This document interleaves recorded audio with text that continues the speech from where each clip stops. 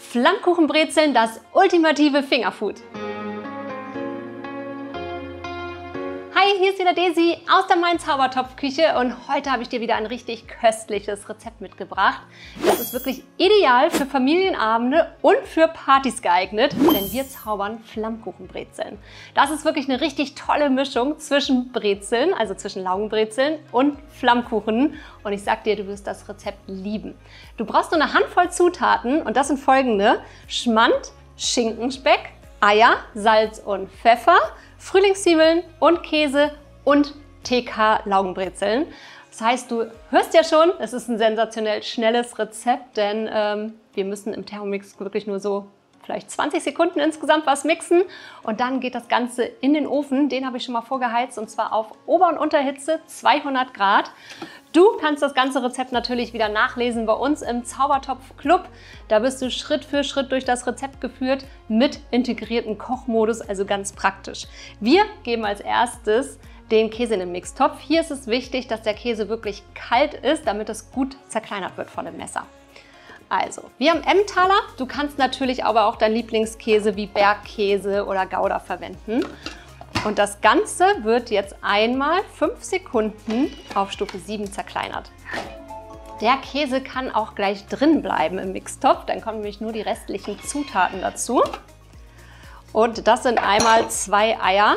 Ich schlage die ja mal extra in der Schüssel auf, falls das mal schlecht sein sollte, dass ich nicht das alles wieder aus dem Thermomix rauskratzen muss, beziehungsweise den ganzen Inhalt dann entsorgen muss. Wir haben hier wieder Größe M von den Eiern, falls du die Angabe brauchst. Also zwei Eier noch dazu. Frühlingszwiebeln. Ich behalte noch so ein paar über für später für die Deko. Musst du zu Hause aber nicht machen. Dann brauchen wir Schinkenspeck und natürlich Schmand. Hm, das ist so herrlich. Ich liebe ja so kurze Rezepte. Und solltest du den Kanal noch nicht abonniert haben, mach das am besten direkt jetzt. Und wenn du dann auch noch auf die Glocke drückst, verpasst du keine weitere Folge mehr von uns. Das Ganze würze ich noch mit ein bisschen Salz und Pfeffer. Beim Salz kannst du ein bisschen sparsamer sein, denn wir haben ja nun schon den Schinkenspeck da drin und der ist ja schon recht salzig. Vegetarier können natürlich den Speck einfach weglassen oder durch irgendwas anderes ersetzen. Du könntest zum Beispiel auch noch Mais oder solche Sachen unterrühren. So, ein bisschen Salz gebe ich noch dazu. Und wir müssen das jetzt mixen und zwar 12 Sekunden. Wie gesagt, vergiss den Linkslauf nicht, also achte wirklich darauf, dass dieser grüne Pfeil aufleuchtet, denn wir wollen ja noch ganze Schinkenstücke da drin haben. Und auf Stufe 3. Und so schnell ist unsere Füllung auch fertig. Ich zeige sie dir jetzt einmal. Ich fülle die tatsächlich auch gleich um, damit ich nicht mit dem Esslöffel in den Mixtopf muss, weil das gibt immer Kratzer. Wenn dich das zu Hause nicht stört, kannst du das natürlich direkt auf die Brezeln löffeln. Aber nach 12 Sekunden ist tatsächlich alles richtig gut vermengt. Und ich fülle das Ganze jetzt hier einmal um. Ich finde, dann ist die Dosierung auch ein bisschen einfacher. Die Füllung reicht übrigens für 10 Brezeln. Leider passen ja nicht so viele auf ein Backblech, das heißt, du musst die nacheinander wegbacken. Also sechs habe ich hier schon mal raufbekommen. Gut, das sieht gut aus. Wie gesagt, wir machen das mit TK-Brezeln. Wenn du ganz, ganz viel Zeit hast zu Hause, könntest du natürlich auch frische Laugenbrezeln backen, also den Teig vorbereiten und aufs Backblech geben. Ist aber überhaupt nicht nötig, denn ich finde, Fingerfood oder Partyfood darf auch einfach richtig schnell gehen, weil meistens hast du ja noch tausend andere Sachen zum Organisieren. Also, das geben wir jetzt hier einfach unsere Schmandfüllung so zwischen diese Löcher hier von der Brezel. Und ich sag's dir, du wirst das lieben. Es kam auch bei uns in der ganzen Familie richtig gut an, weil wir mögen alle Laugenbrezeln und wir mögen aber auch alle richtig gerne Flammkuchen. Schreib doch mal in die Kommentare, was dein liebstes Fingerfood ist. Würde mich mal interessieren. Vielleicht kriege ich ja auch noch ein paar neue Ideen. Achte auch ein bisschen, dass da nicht so viele Löcher sind. Der Käse hält das nachher auch alles richtig gut zusammen. Du könntest sie sogar noch am nächsten Tag essen, wenn du die luftdicht verpackst. Ich persönlich finde sie aber frisch am leckersten.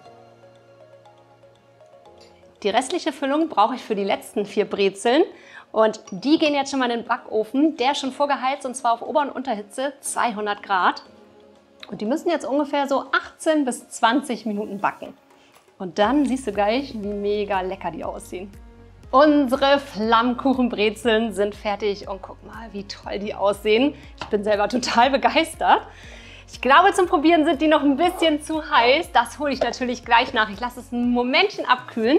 Solltest du den Kanal noch nicht abonniert haben, mach das am besten direkt jetzt. Und wie gesagt, das komplette Rezept zum Nachlesen und viele weitere 1000 Rezepte für dein Thermomix findest du bei uns im Zaubertopf Club. Solltest du noch kein Mitglied sein, sage ich dir, das lohnt sich wirklich. Denn du findest dort nicht nur ganz, ganz viele Rezepte für den Thermomix, sondern auch ganz viele Tipps und Tricks.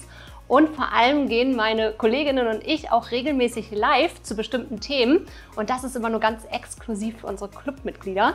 Und wenn du noch kein Mitglied bist, kannst du es auf jeden Fall auch noch mal 30 Tage lang testen.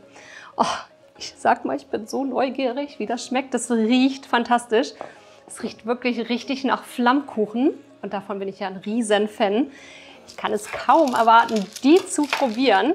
Aber wenn ich das jetzt tun würde, würde ich mir wahrscheinlich die Finger und den Mund verbrennen. Ich mache mir hier noch ein paar frische Frühlingszwiebeln drauf. Ich finde, das sieht immer einfach noch schöner aus. Und jetzt geht's ans Probieren. Es ist zwar immer noch ein bisschen heiß, aber für dich mache ich das ja gerne hier, ne? Mmh. Oh mein Gott. Die sind sowas von lecker. Also, die musst du unbedingt nachmachen. Schreib in die Kommentare, wie es dir geschmeckt hat. Ich bin gespannt, ich bin total begeistert.